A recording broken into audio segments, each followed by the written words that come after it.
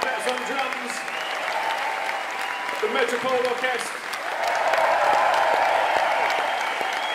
opening night of ADE, brought to you by the man Colin Benders.